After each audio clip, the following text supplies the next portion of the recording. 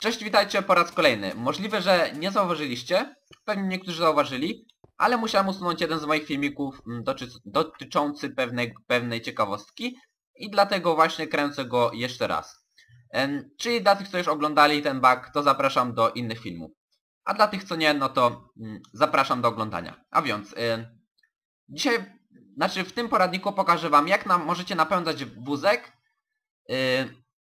jeśli nie macie na przykład boostera, zapomnieliście go zbudować lub nie mieliście mm, żelaza, żeby zbudować wiele wagoników. No i właśnie teraz wam pokażę, jak taki wózek y, napędzić bez używania żadnej pomocy, czyli bez używania torów napędzających po prostu mm, ręką. Więc tak, stoimy, może na początku pokażę jak to wygląda. To będzie ta, taki ruch.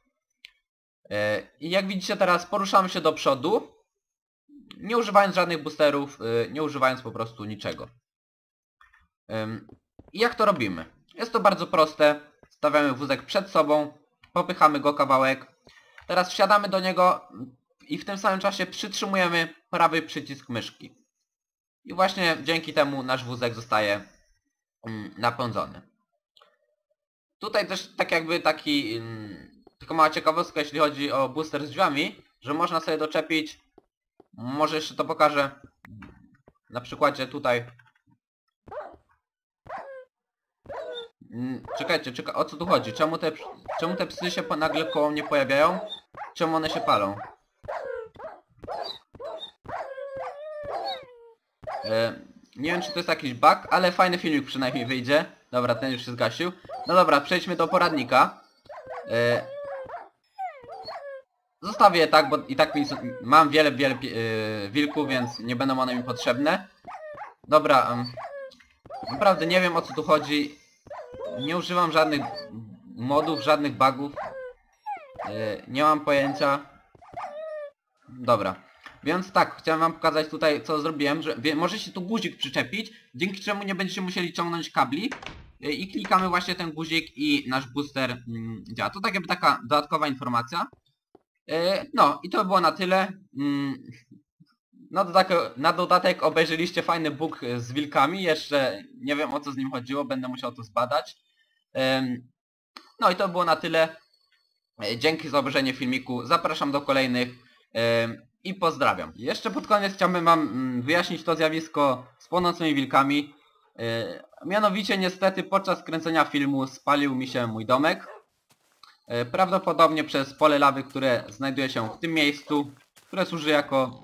Mm, po prostu wrzucam do niego przedmioty, które są zbędne. Na szczęście mam backupa całego save'a, więc nie będzie większych problemów. Mm, Na dodatek chciałem ogłosić, że, że zaczynam współpracę z różnymi kanałami angielskimi e, i oczywiście polskimi. Ma to takie korzenie, że po prostu nie chcę, żeby ludzie pisali, e, że tworzę kopię kogoś filmików.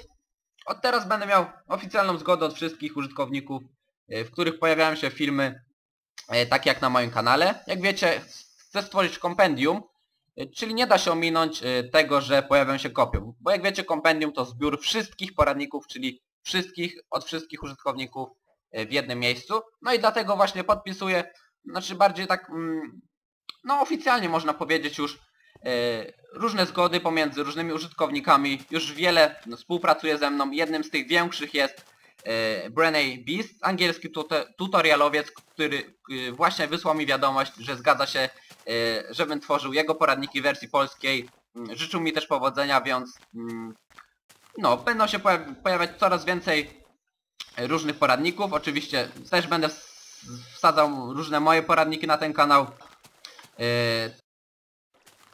które już na razie planuję, tak jak ten latający piasek. Jeszcze badam go, więc proszę nie pisać, y, kiedy go wstawię, bo to jest niewiadome. Bo ciągle go badam, żeby stworzyć większe pole, jak na razie ma go zyskać tylko jeden słupek latającego piasku bez pomocy na przykład pochodni. Na koniec jeszcze chciałem pozdrowić i podziękować wszystkim użytkownikom, którzy zasubskrybowali mój kanał. Wielkie dzięki właśnie do rozwoju mm, naszego kanału, o, czyli kompendium wszystkich poradników. I jeszcze dodatkowe podziękowania mm, dla tych ludzi, którzy dodali mój kanał do ulubionych i do polecanych. Często właśnie wchodzę na różne kanały, widzę, oglądam, oceniam takie też kanały, w których jestem polecany.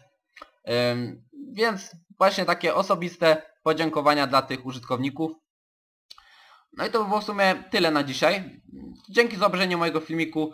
Zapraszam do kolejnych y, i pozdrawiam.